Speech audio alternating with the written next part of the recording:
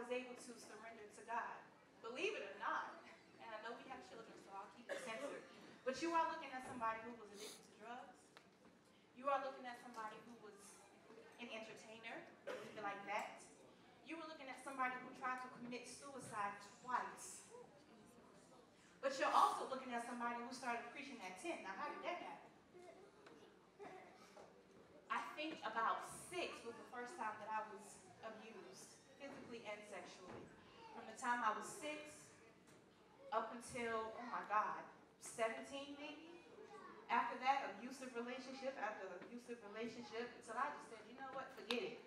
Obviously, God got some explaining to do, so I don't want no parts of him, because clearly he didn't want any parts of me.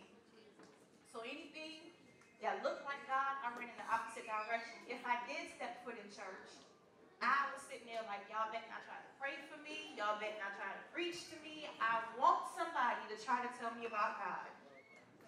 After years of self-destruction, years of, you know, like I said, just trying to kill myself in every way possible, I finally said, you know what, God, okay, I get it. There's something here. There's something greater. There is a purpose. And it's so funny because the first young lady that spoke was talking about discovering her purpose and, and being who God created her to be. And that's the same thing that God laid on my heart to share with you ladies tonight. Life is going to happen. The Bible tells us clearly each day is full of troubles, but you cannot give up on God. You cannot. You cannot give up on your creator because before he formed you, you had a purpose. Before he created you, you had, he already had the plan lined out. Now there are some things, and you know, people will say, well, if that's God's will, then how can he allow pain? But it's all working for our good. Romans 8 and 28. It's all working for our good. Well, I was abused, it was for my good. Well, I tried to kill myself, it was for my good. When my mother hated me, it was for my good.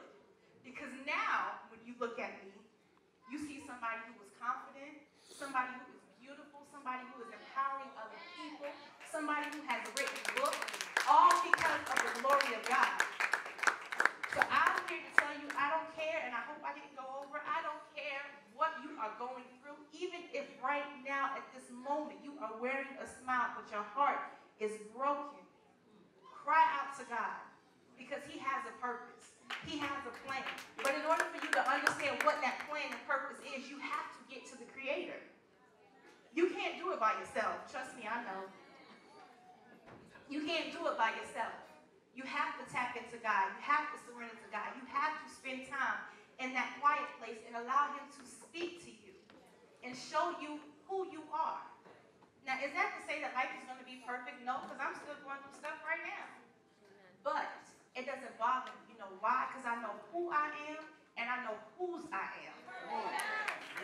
So on tonight, I just want to encourage everybody who is going through anything, everybody, anybody in this space. Because I promise you, if today isn't the day that you're struggling, it's going to happen. I'm not going to lie to you. But don't let go of God. Don't turn back on God. Anything, push further towards Him. If anything, spend more time with Him. Because that's when you'll discover what the purpose is, what the plan is. Now, the Bible also tells us that some things won't be revealed until it's appointed time. We don't know what the appointed time may be. The appointed time could be when the situation is over. It could be when we see our Father. We don't know. But I trust God and I trust His Word, and I encourage you to do the same because it's all for a purpose. Thank you so much. Woo!